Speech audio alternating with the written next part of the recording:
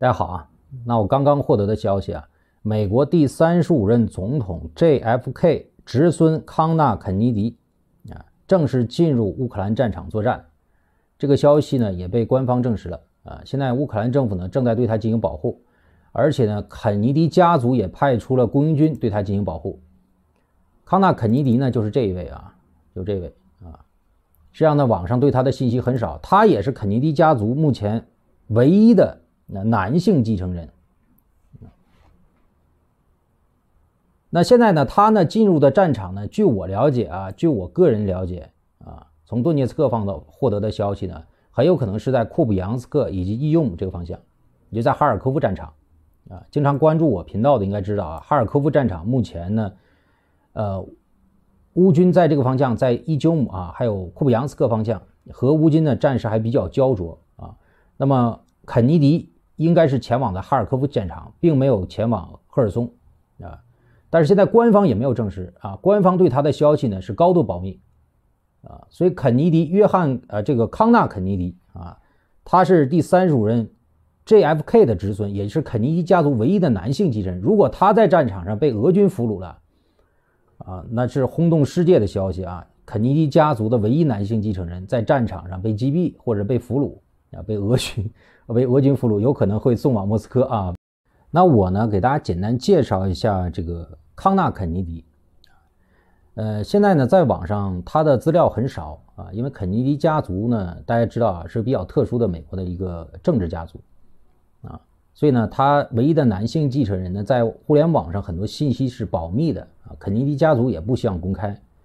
呃，我通过现在网上有限的对他的一些资料呢。希望大家通过我的节目能够侧面了解一下这个年轻人，啊，就现在在顿巴斯作战这个年轻人，肯尼迪家族唯一的男性继承人。呃，他呢是一九九四年出生，七月二十四号出生，现年只有二十八岁。啊，他出在美国纽约，啊，在迪尔菲尔德学院学习。他的父亲呢是小罗伯特 ·F· 肯尼迪，母亲是玛丽·理查森·肯尼迪。他的兄弟姐妹呢，包括博比·肯尼迪三世、威廉·芬巴尔·肯尼迪，啊，另外还有凯瑟琳·亚历山德拉·肯尼迪。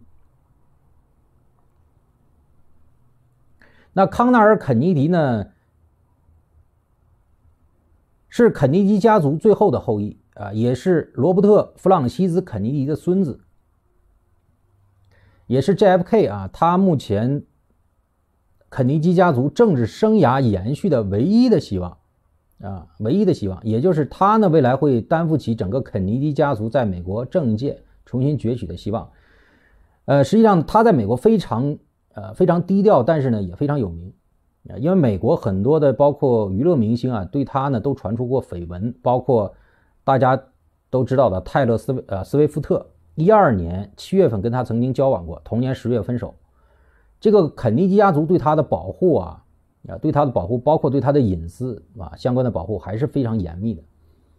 呃，包括这一次呢，到达顿巴斯、到达乌克兰作战，也是肯尼迪家族为了他下一步进入政坛，哎，铺平道路，需要镀个金。那么在战场上镀金，因为肯尼迪家族大家知道，这个 JFK 实际上之前也参加过二战，随后参加了美国总统的选举，那肯尼迪家族有一个传统，就是自己的后裔呢要在战场上获得一些军功，然后呢再返回国内啊，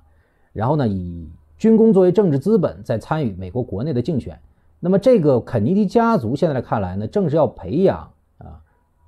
最后的这个康纳肯尼迪啊唯一的男性继承人参与到美国的政治，所以需要在呃乌克兰战场镀金，就参与作战。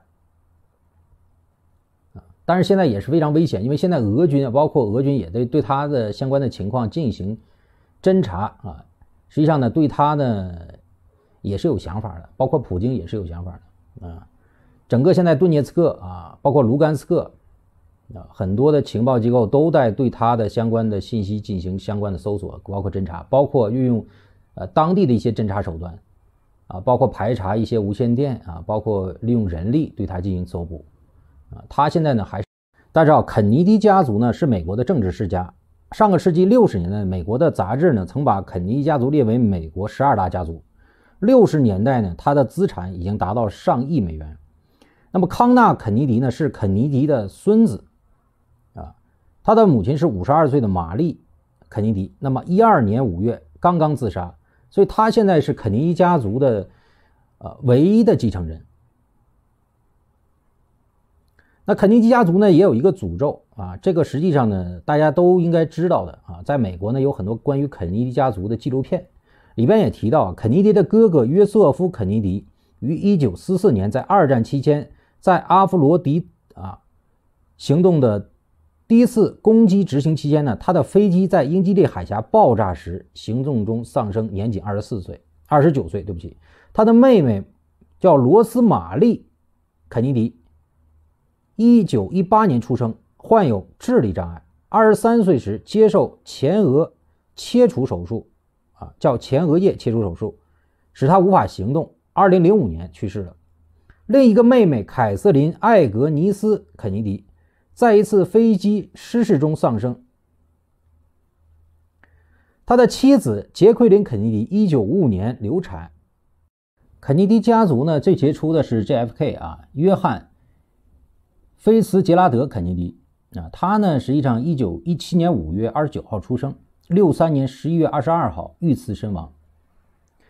我呢，先给大家介绍一下 JFK 啊，简单的介绍一下。大家如果去纽约，实际上有 JFK 机场啊，所以呢，肯尼迪家族对整个美国的政治生活影响是巨大的。他呢是一位美国的政治家，六一年起担任美国第三十五任总统。那他呢是美国最年轻的总统啊。他呢是在冷战高峰期啊当选的美国总统啊，最著名的是和苏联在古巴啊古巴导弹危机进行这种博弈。呃，当时是六三年，美国的间谍飞啊飞机发现了苏联在古巴的这个导弹基地，随后呢，古巴导弹危机发生，几乎导致全世界啊毁灭，就是古巴导弹危机啊爆发核大战。六三年十月呢，他签署了核武器条约。呃，并与拉拉丁美洲啊成立了进步联盟啊。他还有一项最著名的就是阿波罗登月计划，也是在他的任期内主持的。啊，七零年登月之前呢，一直是他在推动美国的载人航天啊，包括登月项目。六三年的十一月二十二号呢，肯尼迪在达拉斯遇刺。那为什么说肯尼迪家族是美国的政治家族啊？长期以来呢？